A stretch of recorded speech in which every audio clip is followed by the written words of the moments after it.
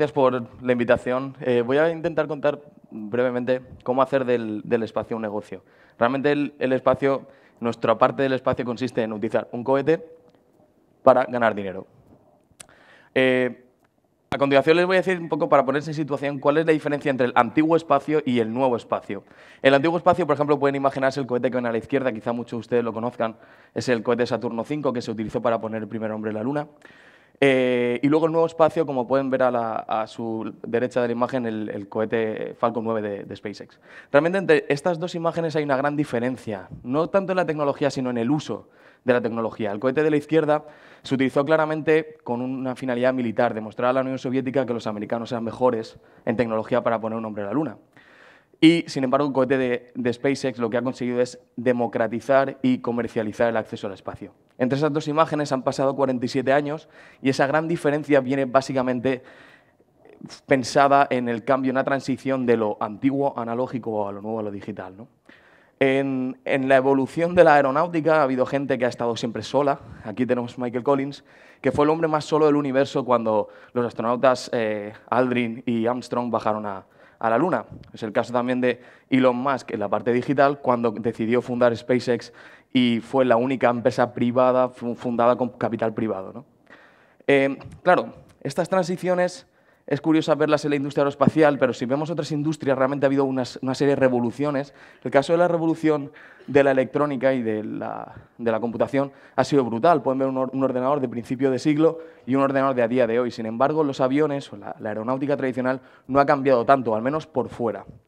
Si vemos un teléfono móvil, pues claro, 24 años han dado para mucho, y obviamente en un campo muy concreto del espacio ha pasado lo mismo, que es el campo de, los satélites, donde antiguamente los satélites eran gigantes, del tamaño de un autobús, y a día de hoy son muy pequeñitos, de hecho caben en la palma de la mano, se conocen como CubeSats. Claro, ¿a qué se ha debido esto? Pues básicamente a tres fenómenos principales. En primer lugar, la miniaturización de la tecnología. Es el caso de la electrónica, sobre todo, y de la óptica. Luego, por otro lado, que al haber más oportunidades para lanzar cargas al espacio, hay más gente interesada en volar, por tanto se actualiza y se prolifera el desarrollo de esta tecnología. Y finalmente que se ve que a nivel científico y tecnológico el espacio constituye una nueva frontera en desarrollar ciencia.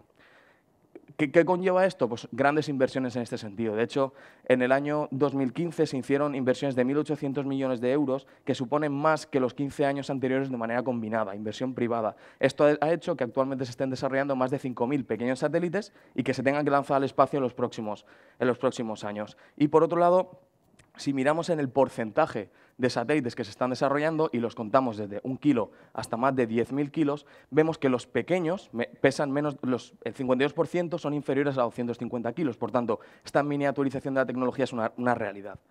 Claro, vemos cómo crece el tamaño del mercado. Actualmente se estima que en 2020 sea un tamaño de mercado muy grande, puesto que los satélites pequeños constituirán una gran parte de ese mercado, superior a 4.000 millones de dólares, y los experimentos en condiciones de ingravidez, científicos y de tecnología, están creciendo también de manera bastante notable. Pero claro, en el campo de los cohetes, los cohetes siguen siendo todavía gigantes. De hecho, pueden ver aquí el cohete Proton, pues un cohete enorme. Entonces, claro, ¿cómo hacer de esto un negocio? Pues esto hay varias empresas en el mundo que se lo están planteando, eh, una de ellas es PLD Space, a la cual represento junto con Raúl Verdú, que nos propusimos efectivamente desarrollar tecnología en nuestro país, como han introducido, eh, para, en nuestro caso, convertirnos en líderes mundiales prestando servicios de lanzamiento para estos pequeños satélites. Claro, cuando hablamos con un cliente, realmente el cliente lo que dice, la gente o incluso las universidades y los centros de investigación, cuando desarrollan este tipo de tecnologías, te dicen que a día de hoy no tienen oportunidades de lanzamiento. Los cohetes son gigantes y están pensados para lanzar grandes cargas generalmente el tamaño de autobuses al espacio y por tanto alguien no se puede permitir el, pagar un cohete tan grande. ¿no? Entonces realmente hay muy pocas oportunidades de vuelo, los cohetes que existen tienen una, serie de restricciones, generalmente militares, porque están enfocados a lanzar cargas militares, y hay muy poca gente que de verdad se puede permitir pagar, y si lo paga es extremadamente caro. Entonces, claro, nuestra propuesta en su momento fue desarrollar un cohete pequeño, claramente enfocado a esos satélites pequeños. Al final el lema es cohetes grandes para satélites grandes y cohetes pequeños para satélites pequeños. Nosotros decidimos, además de llevar a cabo el proyecto con una serie de mejoras en cuanto al producto. Generalmente ah, queremos hacerlo económico, porque al final queremos democratizar el acceso al espacio. Entonces tenemos que utilizar tecnologías que no solo vengan del sector espacial, sino en otras industrias, como puede ser la industria náutica, por ejemplo, o la industria tradicional de fabricación. Por otro lado, queremos utilizar soluciones que obviamente reduzcan el coste, por tanto, solución coste efectiva. Obviamente, siempre decimos que en España no solo hace buen tiempo solo para ir a la playa, aquí hay playas muy buenas, sino también para lanzar cohetes. Entonces, en España hay una base de lanzamiento que está en Huelva y queremos utilizarla, porque de hecho hace muchos años que no se usa, porque la climatología favorece a democratizar el acceso al espacio si lanzas muchas veces. Y obviamente queremos lanzar, aterrizar y volver a lanzar, porque la reutilización es una parte muy importante eh, en cualquier industria. De hecho, probablemente todos ustedes hayan venido en avión y ningún avión cuando ha aterrizado lo han tirado a la basura, sino que ha vuelto a volar. Pues esto es lo que básicamente SpaceX proponía, lanzar, aterrizar y volver a volar. Esto es algo que ya se ha intentado hacer anteriormente. De hecho, el transbordador espacial, que muchos de ustedes conocerán, fue el primer intento de la NASA de hacer un avión cohete, un cohete totalmente reutilizable, pero con un coste superior a un billón de dólares más de nueve meses de, 10.000 ingenieros trabajando está bastante lejos de ser algo reutilizable. Entonces, bueno, en la industria espacial, a nivel amateur incluso ha habido gente que ha superado la barrera ¿no? de los 100 kilómetros, ha llegado de verdad al espacio. Aquí está la, la, Asociación Estadounidense Civilian Space Exploration, que con sus propios fondos llevaron a cabo un desarrollo de un cohete que alcanzó el espacio. Pero hay otras iniciativas, por ejemplo, en Dinamarca, de unos chicos Copenhagen Suborbitals que están desarrollando un cohete para llevar a gente al espacio también, pero de manera privada e incluso con crowdfunding. Claro, hay muchas más empresas alrededor del mundo, instituciones alrededor del mundo. De hecho, la gran parte, del 75%, están en Estados Unidos. Y la verdadera oportunidad estaba en Europa, porque hay pocas y, en cierto modo, también es un reto para desarrollar este tipo de tecnología. ¿no?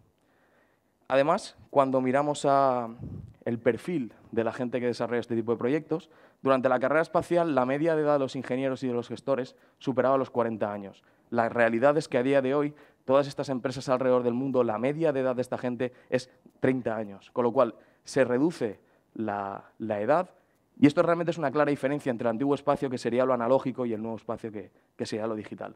Y bueno, como dice Elon Musk, lo, que es el cofundador de PayPal, SpaceX, eh, Tesla, SolarCity, muchas empresas importantes en, el mundo, lo verdaderamente importante es desarrollar un artículo y demostrar que funciona, ¿no? porque el PowerPoint lo soporta todo, todo, como ha comentado el anterior ponente, el papel vale para soportarlo todo ¿no? y transmitir, pero si de verdad es algo que funciona y lo muestras, convence mucho más que un simple PowerPoint.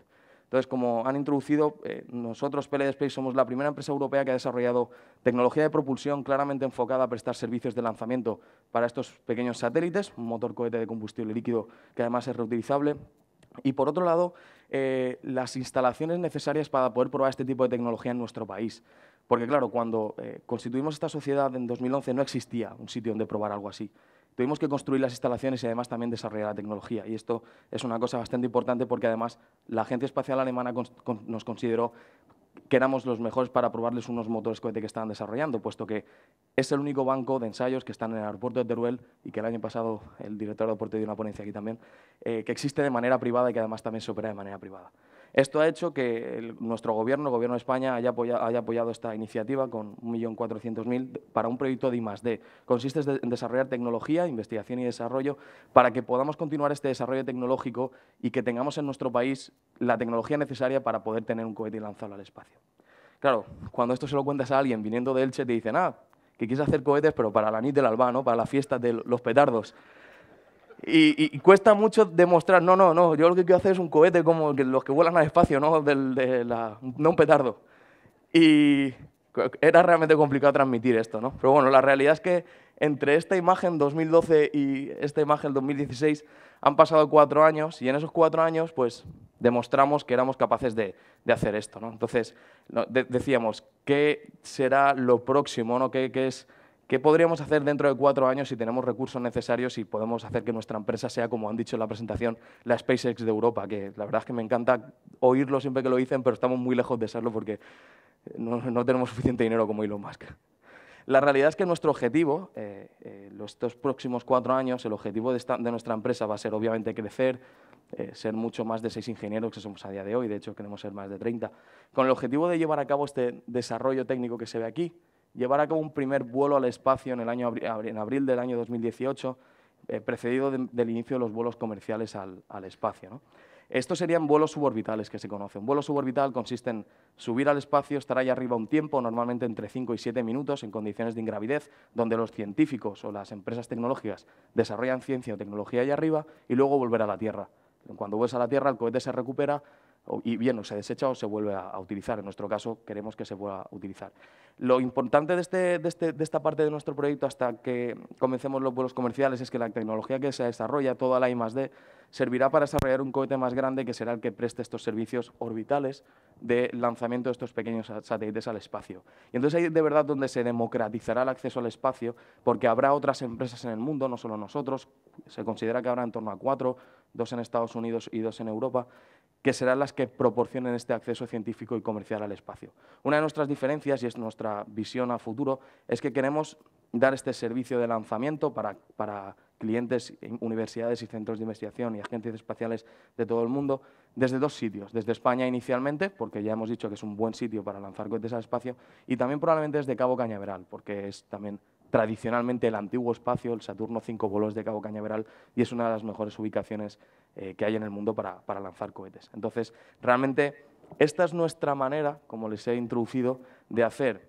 del espacio un negocio. Muchas gracias.